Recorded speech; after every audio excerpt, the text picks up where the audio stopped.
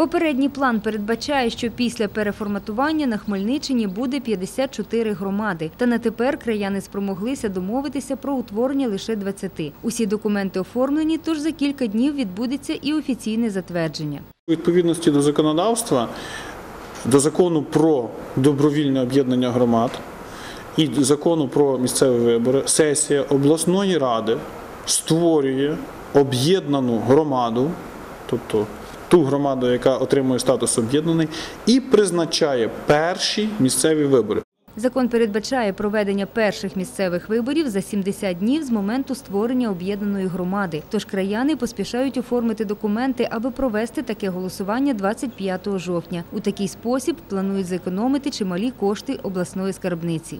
Якщо в нас буде 50 громад, і ми зараз е, не приймемо рішення, що це їх зараз разом провести з черговими, де буде фінансування з державного бюджету, значить ми тоді змушені будемо проводити позачергові вибори. Це все буде з кишені обласного бюджету. Можемо порахувати це 18 мільйонів витрат. На перших виборах, окрім депутатів районних і обласної рад, обиратимуть і голів та депутатів новоутворених територіальних громад. І на цьому виборчий процес не закінчиться.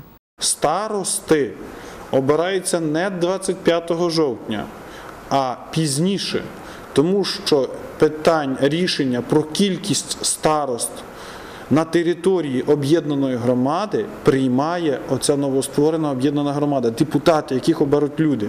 Процес об'єднання в краї може тривати аж до 2017 року. Принаймні такий перехідний період передбачають зміни до Конституції України. Але чим швидше громади отримують новий статус, тим швидше одержать і суттєву матеріальну допомогу на розвиток.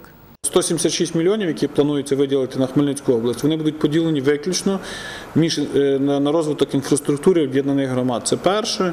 Друге, е, Євросоюз вже задекларував, що в бюджеті е, планується на 2016 рік виділення коштів у розмірі 1 мільярда євро, який буде використаний на проекти щодо розвитку місцевого самоврядування на території України. У територіальному офісі реформ продовжують приймати документи від об'єднаних громад. Затверджуватимуть їх на сесіях обласної ради. Анна Михайловська, Дем'ян Цегольник, Михайло Габрух для інформаційного випуску.